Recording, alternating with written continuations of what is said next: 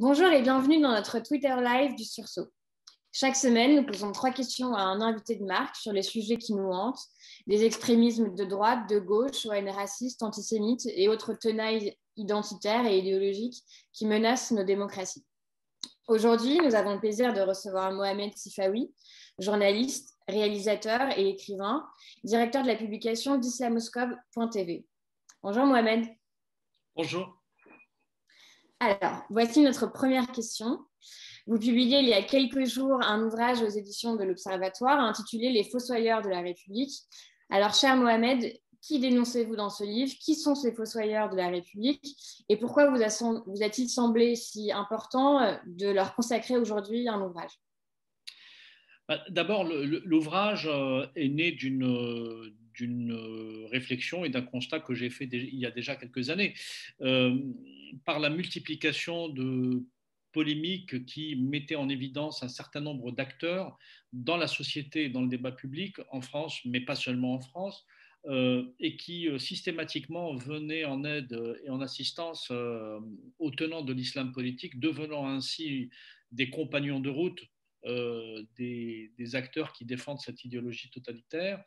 Et, et, évidemment, pour travailler sur le sujet depuis maintenant quelques décennies, je savais et j'avais vu que ce n'était pas un phénomène nouveau, donc je voulais l'explorer en profondeur, d'autant plus que c'est un phénomène qui existe, et il est, inutile de le nier, euh, mais qui était totalement, euh, je dirais, rejeté avec beaucoup de dédain et d'un revers de main, notamment par des universitaires qui, de façon très malhonnête, je le dis, ont euh, utilisé ou continuent d'utiliser leur statut, qui leur donne une sorte de légitimité scientifique, pour faire rien d'autre que du militantisme. Et d'ailleurs, la plupart de ceux qui s'expriment euh, sur, euh, le sujet euh, n'ont jamais véritablement, dans l'enceinte universitaire, investi cette thématique. Il y a très peu de travaux sur la convergence qui existe entre les tenants de l'islam politique et, et, les, et, certains milieux gauchistes. Alors je le précise,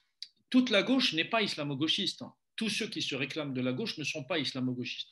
Et d'ailleurs, je tiens à le rappeler, moi-même, je suis je suis un homme de gauche. J'ai baigné dans ces valeurs de gauche qui m'ont structuré politiquement, idéologiquement, et ce sont ces mêmes valeurs de gauche qui m'ont amené à m'engager contre l'islam politique, à aimer euh, la laïcité, à, être un militant antiraciste, à être extrêmement attentif, euh, je dirais, à tout ce qui est de nature à fissurer la société, à être, euh, je dirais, très attiré par par euh, les grandes valeurs universelles, à commencer par la, Révolution française, qui a été, euh, je dirais, le prélude euh, de la naissance de la République. Enfin, toutes ces questions, quand même, sont ou devraient continuer de, je dirais, de structurer la pensée de la gauche. Malheureusement, c'est le contraire qui s'est produit. Alors, qui sont-ils aujourd'hui Je ne veux pas dresser une liste à l'après-vert, comme dirait l'autre. Mais ces acteurs sont connus. Ce, sont soit des partis politiques, euh, le, le, NPA, les trotskistes, enfin une partie des trotskistes euh, ont décidé d'être des compagnons de route de, de l'islam politique.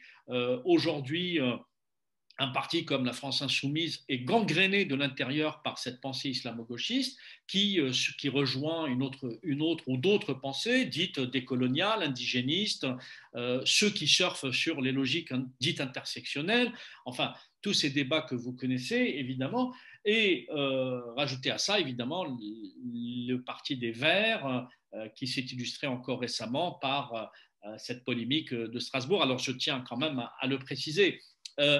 Euh, parce qu'il y, a, y a beaucoup de mauvaise foi euh, chez les gens que je décris. Euh, lorsque à Strasbourg, on vous dit que le concordat permet le financement des religions, c'est vrai. Et le concordat permet, y compris, le financement de l'islam, même si la chose n'est pas clairement inscrite, parce que lorsque ce dispositif a été érigé, l'islam n'était pas encore, je dirais, présent comme il l'est aujourd'hui sur le territoire national. Mais euh, toujours est-il, lorsque une disposition permet euh, de, soutenir ou de subventionner une religion, elle ne donne pas droit pour autant à subventionner l'islamisme. Et c'est là où ces gens sont quand même d'une hypocrisie totale, c'est que les mêmes vous diront ne faites pas l'amalgame entre islam et islamiste, mais ils vont utiliser un dispositif légal pour financer une religion, alors qu'en vérité, ils financent les tenants d'une idéologie politique totalitaire et je cite en l'espèce le Miligorüç turc dont il a été question récemment. Merci Mohamed. Notre deuxième question, vous êtes, euh, comme vous l'avez dit, déjà un ardent défenseur de la laïcité, vous avez aussi une haute connaissance de la complexité des rapports de force au sein de l'islam en France.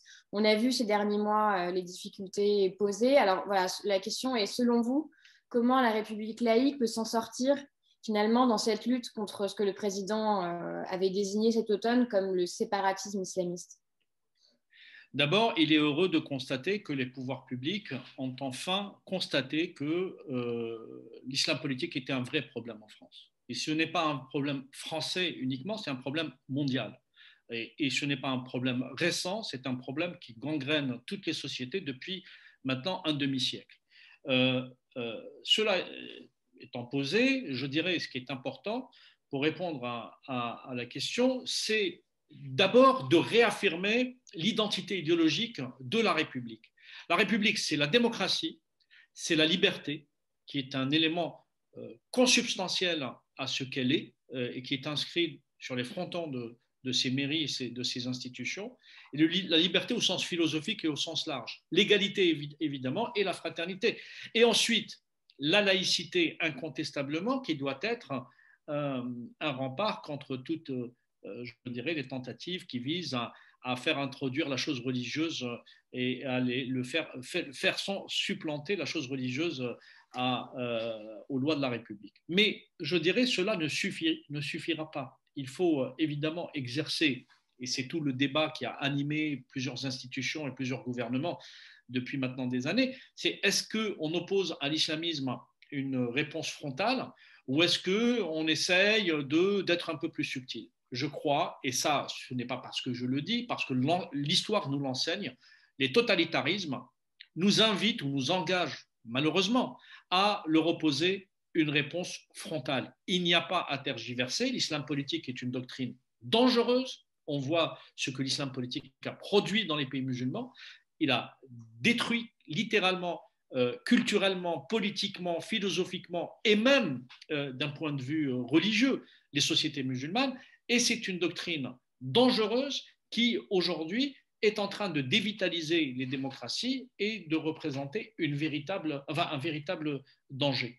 Donc, il faut y aller frontalement en réaffirmant ce qu'on ce qu'on est en tant que démocrate et il faut puiser sa réponse dans l'état de droit. C'est-à-dire que l'équilibre doit être extrêmement là aussi extrêmement subtil, et, il ne faut surtout pas faire l'erreur de piétiner, et ça c'est un peu la, démarche euh, hasardeuse que préconisent notamment les tenants de l'extrême droite, c'est de verser dans une autre forme de haine ou, ou d'aller dans une logique un peu approximative pour répondre à un phénomène totalitaire. Non, à un phénomène totalitaire, on répond d'abord par l'état de droit et par réaffirmer son identité euh, à la fois politique et idéologique.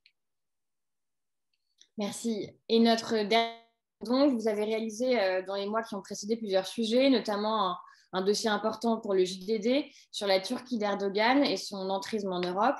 Alors, si vous aviez deux minutes euh, avec le président Macron et qu'il vous interrogeait sur les trois choses à faire pour prémunir la France contre ce type d'influence étrangère, qu'est-ce que vous lui conseilleriez euh, aujourd'hui?